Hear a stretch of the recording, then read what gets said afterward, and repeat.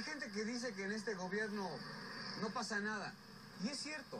Gracias a que ya no tenemos un presidencialismo autoritario, podemos estar seguros de que ninguna decisión del presidente pasa por encima de los derechos de los mexicanos o de las facultades del Poder Judicial o del Congreso. Ya no es como antes.